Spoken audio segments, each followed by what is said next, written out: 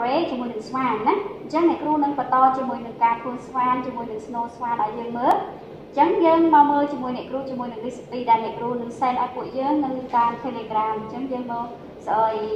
អី review ជាមួយនឹង recipe បន្តិចណា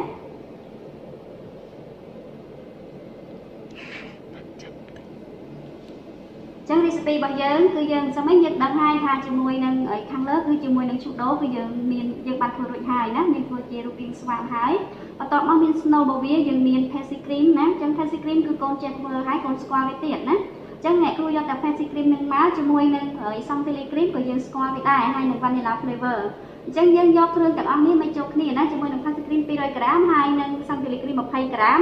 ជាមួយនឹង vanilla flavor 5ក្រាមយើងមិចជួបគ្នាយើងនឹងបង្កើតបានជា snow swan ហ្នឹងណាយើងហៅថា vanilla flavor ណា vanilla cream ហ្នឹង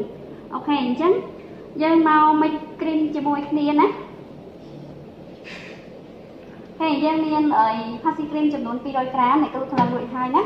ជាមួយនឹង santilli cream ណា santilli cream 20ក្រាម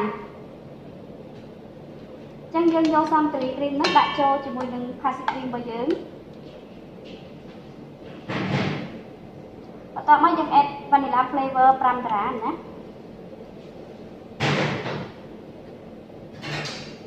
ហើយយើងប្រើវាមិចវាចូលគ្នាណាមិចវាចូលគ្នាឲ្យសព្វ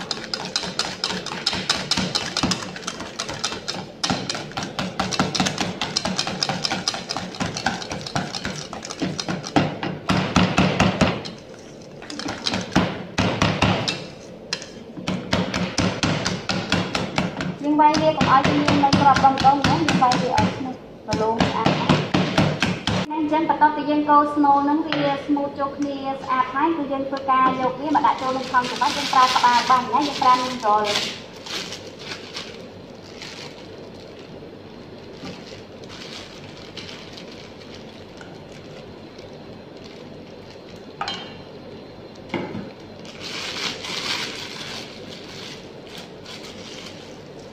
យើងទុកវាសិនបន្ទាប់មកទៀតយើងមកធ្វើការកាត់ស្វានរបស់យើងអញ្ចឹងសិនវិញអ្នកគ្រូបរៀនយើងអំពីការបាញ់ខ្លួនស្វានណាខ្លួនកញ្ញាអញ្ចឹងយើងបាញ់ខ្លួនយើងមានកណា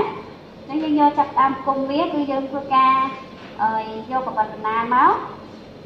យើងជាវាឲ្យដាច់ជាពីរណា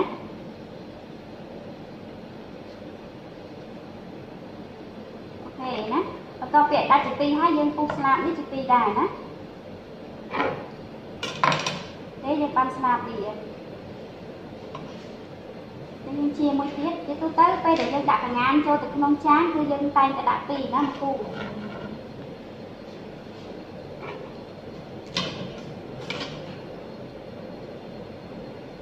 ហើយណាគឺយើងដឹងថាខ្លួនវាអញ្ចឹងយើងដាក់រៀបវាមកហើយយើងបាញ់គ្រីមរបស់យើង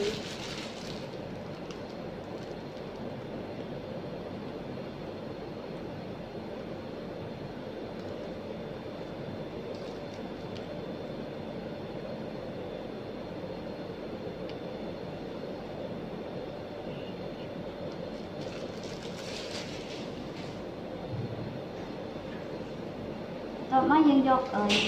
ស្លាបរបស់វានេះយកវាបិទទៅចេញណា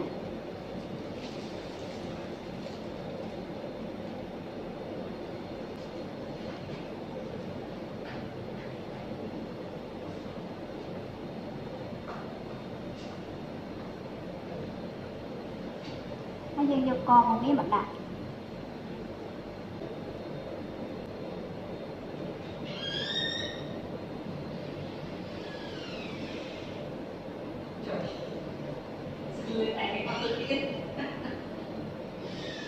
ហេយើងវាគាត់ជាមួយនឹងផ្លែឈើរបស់យើងដែលយើងកាត់ហើយហ្នឹង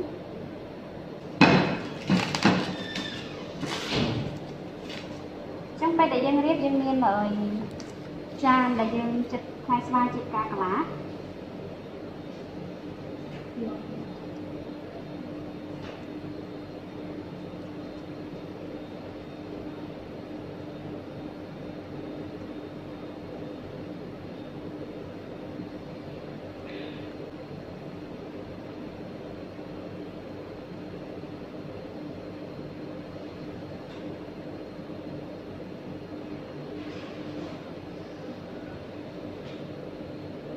អញ្ចឹងពួកយើងយើងហើយស្វានហើយអញ្ចឹងជាទូទៅស្វានគឺយើងប្រើពីរបែបហ្នឹងណាស្អាតយើងអាចបាញ់ស្វានរៀងតូចជាងនឹងតិចក៏បានឬក៏ប៉ុណ្្នឹងក៏បានណា